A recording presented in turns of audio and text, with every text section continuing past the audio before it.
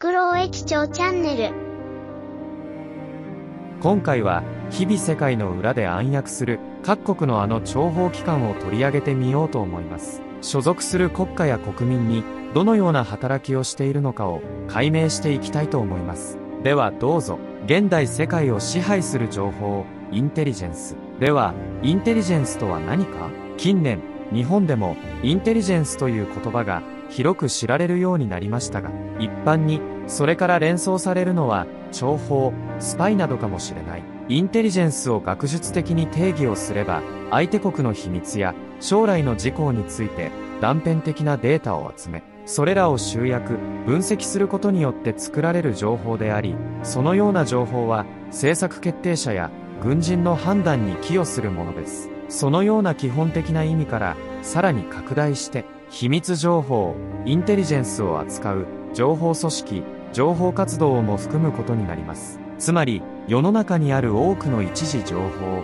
外部環境、状況データから生成し、それらをさらに収集、分析してカスタマーにとって意味のある情報、インテリジェンスというイメージである。国家が諜報活動を行う理由、米国家情報局の資料によれば、米国における対外情報機関の情報活動の最大の目的は国家に対する脅威の認識の有無と有事の際の危機管理に必要な情報を提出することにある。その他に対テロ情報収集、大量破壊兵器の拡散対策、サイバー情報の収集とセキュリティ、傍聴活動などが挙げられている。最近の例で言うと、2018年6月12日の米朝首脳会談に向けて、米国では最初に CIA が動いた。日本であれば外務省が動くところだろうが、諸外国の場合は対外情報機関が動くことはよくあることだ。米朝間には公式の外交関係が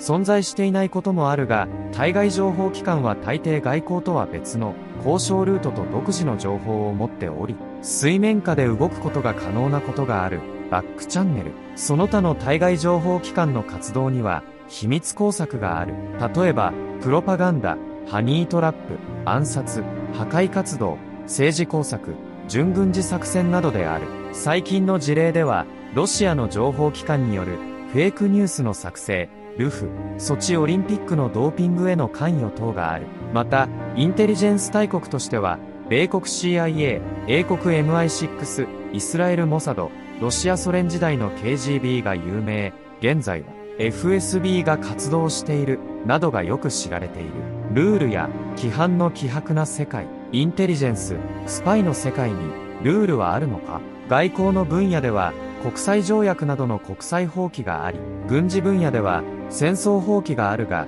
インテリジェンスの世界には慣習を含めても明確なものはあまりない。強いていくつか挙げれば、次のようなものが挙げられる。サードパーティールール。協力関係にある外国の情報機関から提供された情報は、その提供者の許可なしに第三者に提供してはいけない。知って返し、やられたらやり返してもいい。サードパーティールールは厳格に遵守されているが、しっぺ返しは非常に曖昧に運用されている。例えば、自国のスパイが A 国で捕まった場合、自国にいる A 国のスパイを捕まえて、スパイ同士の相互交換を行うというものである。インテリジェンスのために、対外情報機関は、ありとあらゆる手段を用いる。例を挙げれば、古くからあるものとして、ゴミ箱あさり、タマリスク作戦、ハニートラップ、他に CIA の猫、猫に通信傍受機をつけて、対象大使館の敷地に放して、盗聴、スターゲートプロジェクト、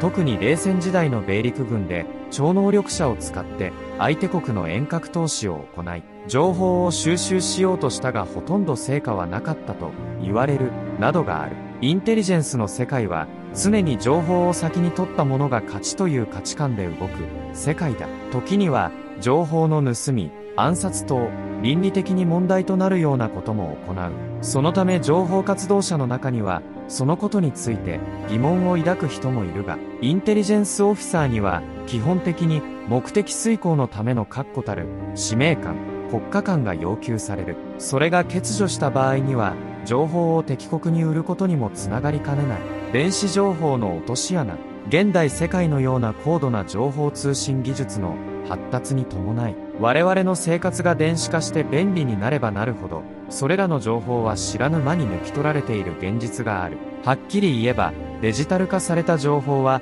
どこかで必ず抜き取られていると認識しなければならない。例えば、電子メール、携帯電話の通話記録、LINE や Facebook などのやり取り、スイカやパスモのデータ、クレジットカードの使用歴、スカイプのウェブカメラ、テレビ番組の選択、Google カーによる無線 LAN 情報の収集等、キリがない。最近の事件としては、スマホアプリ、カカオトークから2年にわたって、数十億人分の個人情報が流出した事件、Facebook の個人情報が英国の調査会社に流れていた事件等がある。ウィキリークスによると、サムスンのスマートテレビの一部には、録音デバイスが仕組まれており、電源がオフの状態でも、室内の音声を拾っており、電源がオンになった途端、その情報が対外情報機関に送られたという事例もある。また元 ISAF 司令官、CIA 長官のデビッド・ペトレアス将軍は、ポーラ・ブロードウェルという女性ジャーナリストと不適切な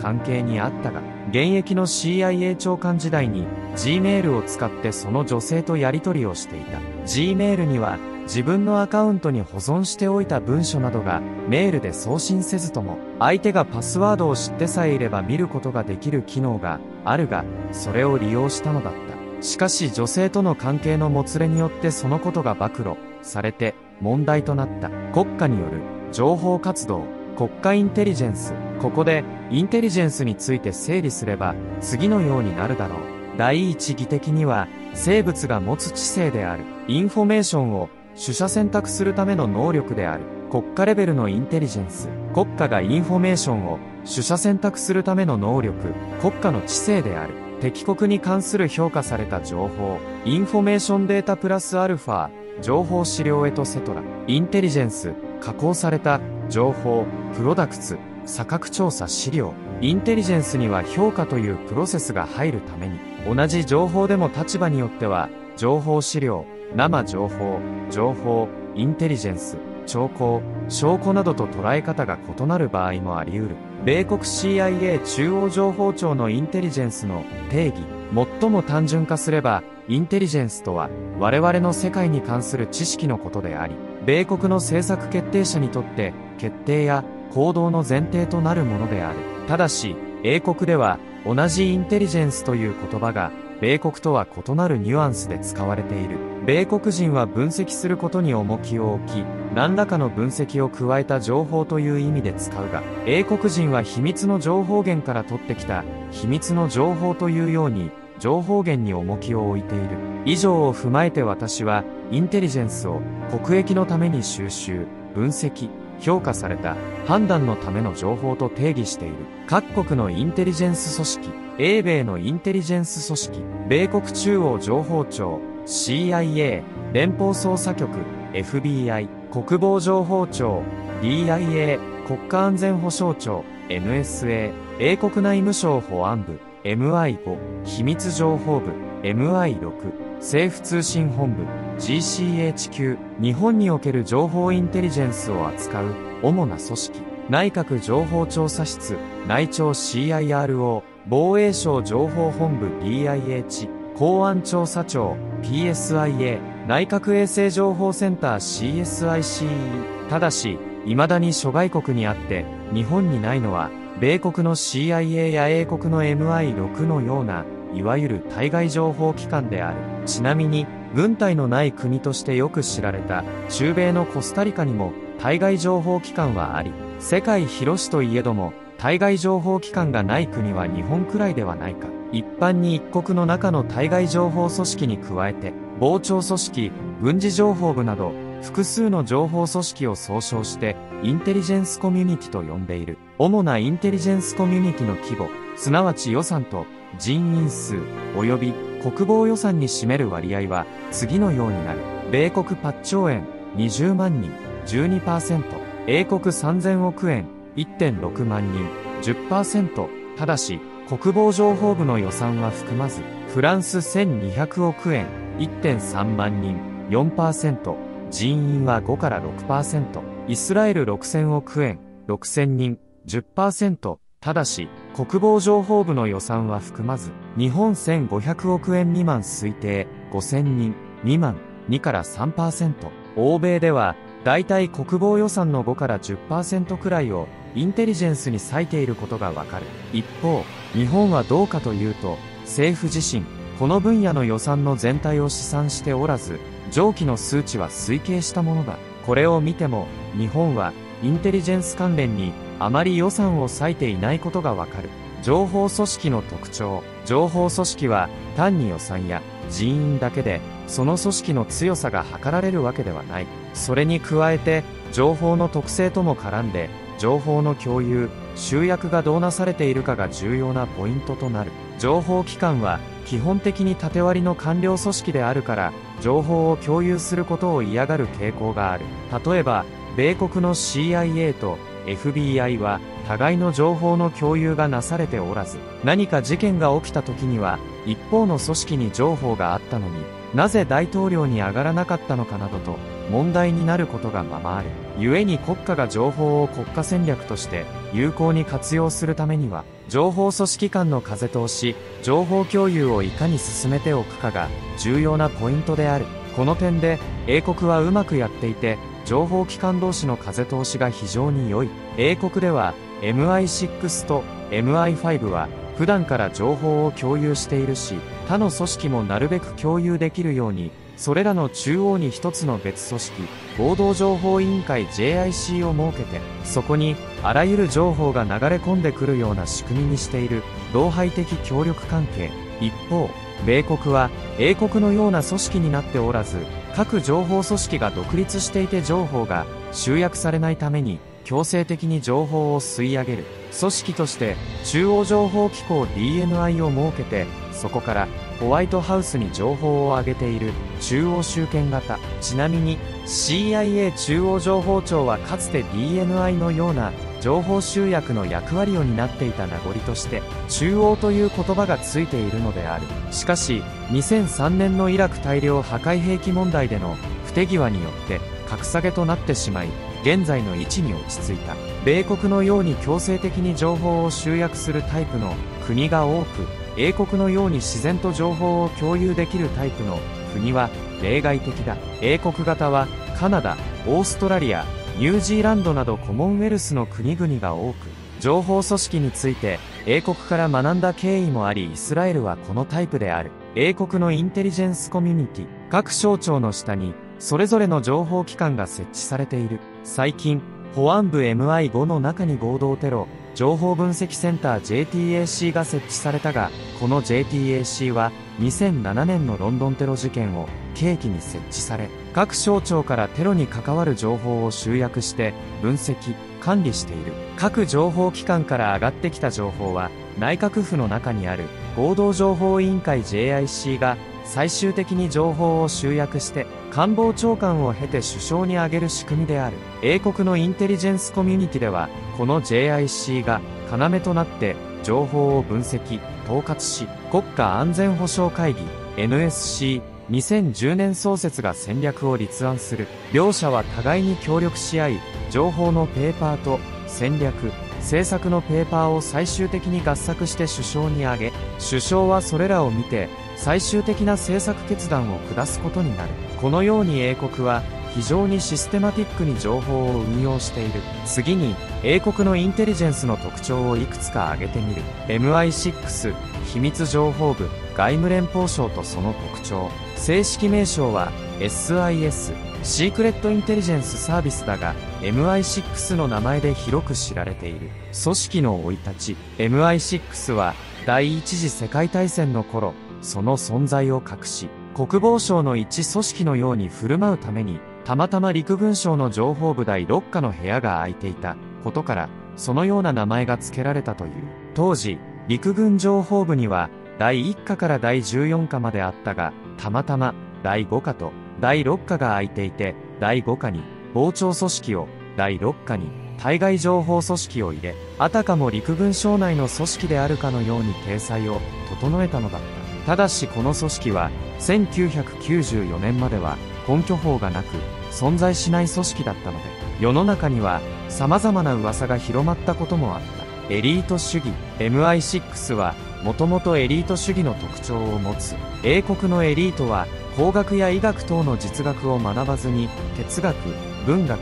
歴史学といった人文科学を専攻するという伝統があって MI6 は従来からオックスブリッジの人文科学専攻者を多く採用してきた。そのため、上流階級出身者が多く、組織の同質化が進んだ。それでは、MI6 に入って何を訓練するかといえば、社交術である。MI6 要員は、世界各国に派遣されると、各国にある大使館のパーティーなどに出て、現地のエリートとの交わりをしながら、情報を収集するのである。そのために、彼らと会話ができる教養や、社交術、コミュニケーション力を訓練する。ところが2003年のイラク戦争で大量破壊兵器の存在に関する情報収集での失敗を契機に人材の多様性を求める声が出て改革が進められた例えば要員採用において MI6 に関係する教授の紹介などが主流であったことイラク戦争での失敗経験では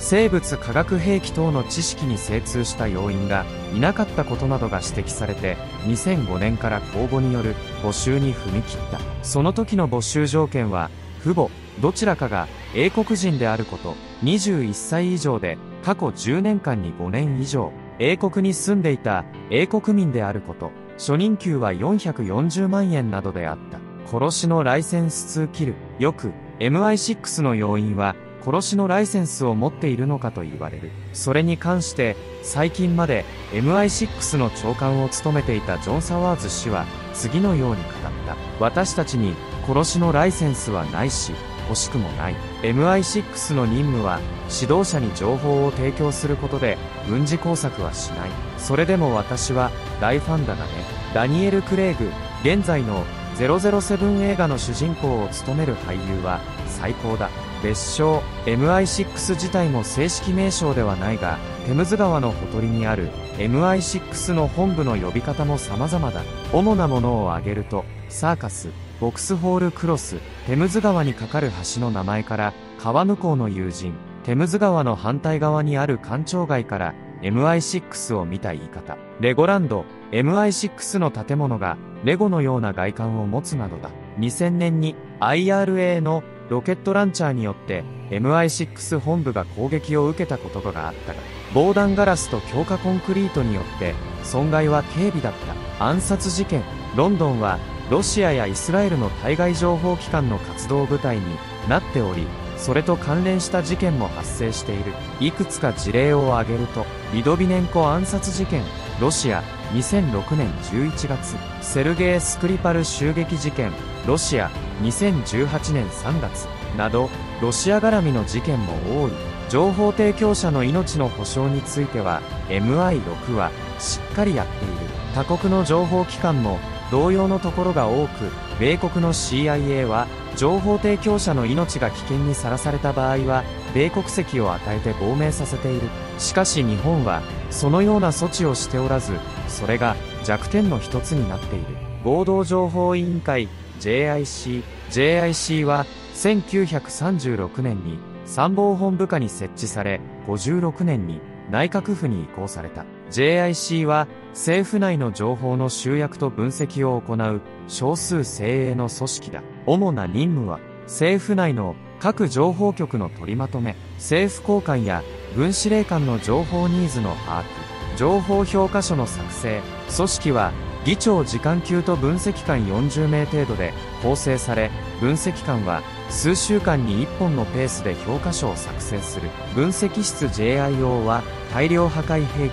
組織犯罪南米テロリズム室アジア旧ソ連邦諸国室アフリカバルカントランスナショナル室中東北アフリカ室からなる。また議長は首相や NSC に対して情報報告の義務を負う。どうでしたか？皆さん今後もインテリジェンスの世界に触れることで情報がどのように形成され国家を動かす力となるのかを一緒に考えていきましょう。国家の安全と私たちの生活は見えないところでこういった情報の駆け引きによって支えられています。興味深い事実から学び皆さんの視点を広げるきっかけになれば幸いです。それでは次回の動画もお楽しみに。